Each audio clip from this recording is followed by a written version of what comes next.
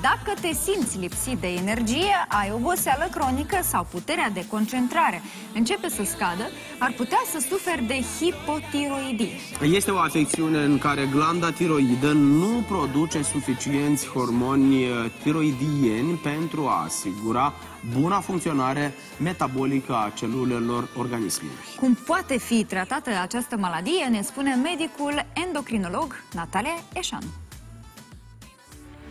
Glanda tiroidă este un organ esențial în funcționarea întregului organism. Hipotiroidia apare atunci când glanda tiroidă nu produce suficienți hormoni, având consecințe asupra întregului organism, de la păr până la sistemul nervos. Cea mai frecventă cauză a hipotiroidiei este așa numită tiroidita cronică autoimună sau tiroidita Hashimoto, care apare atunci când sistemul imun propriu atacă și distruge glanda tiroidă.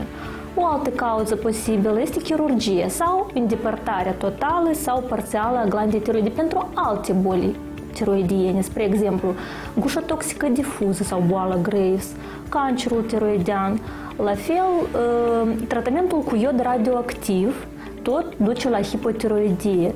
Anumite medicamente sau boli pot scădea și ele funcția tiroidiană. Hipotiroidia poate apărea și în cursul tratamentului pentru hipertiroidie, după îndepărtarea chirurgicală a glandei sau după terapia cu iod radioactiv. Multe dintre simptomele hipotiroidiei sunt nespecifice. Tocmai din acest motiv, hipotiroidea deseori se pune tardiv, târziu, din cauza pacientul interpretează manifestările care le are ca fiind date de stres sau oboseală cronică, Semnele clinice care pot indica prezența hipotiroidiei sunt senzația de frig, oboseală, astenie, mâini și picioare reci, creșterea în greutate, precum și îngroșarea vocii, pulsul micșorat, căderea părului sau tulburările de concentrare și memorie, indică de asemenea o dereglare a glandei tiroide. Diagnosticul de hipotiroidie se pune pe baza dozărilor hormonale, TSH, FT3, FT4, suplimentar anticorpi, anti-TPO și antitireoglobulină pentru a afla cauza hipotiroidiei. Ecografia tiroidiană ne ajută să evaluăm structura, schimbări structurale la nivelul glandei tiroide.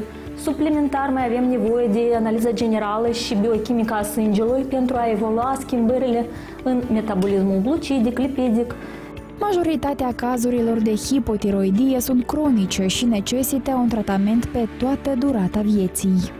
Scopul tratamentului hipotiroidiei este normalizarea hormonilor tiroidieni și ameliorarea simptomele de hipotiroidie. Dacă pacientul este compleant, primește tratament regulat, dacă hipotiroidie este compensată, prognosticul pentru viață, pentru sarcină este excelent.